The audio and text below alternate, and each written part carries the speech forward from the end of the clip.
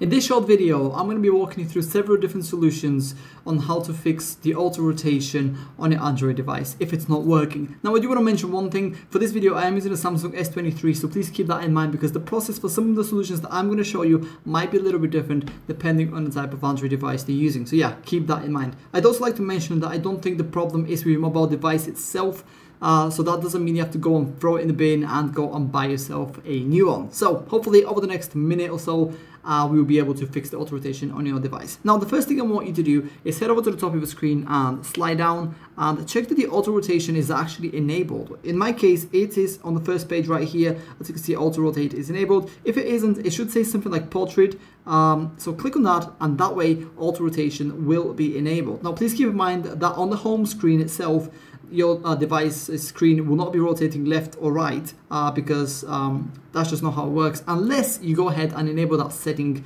uh, in your settings uh, menu. So if that doesn't work, what I want you to do is go ahead and reset your phone entirely. So hopefully it's just a little glitch uh, with your mobile device and when you uh, kind of refresh the operating system, it goes back to normal and starts working again. Now, if that doesn't work, the next thing I want you to do is actually make sure that the application that you want to rotate the screen in actually supports auto rotation because some applications don't. So for example, if I just go ahead and go to like Snapchat or something, as you can see, here's my camera. Now, if I rotate my screen to the left, you'll see that the camera moves, but the actual uh, user interface doesn't. So some applications like uh, Instagram, for example, is another one. They don't support uh, auto rotation. So yeah, keep that in mind.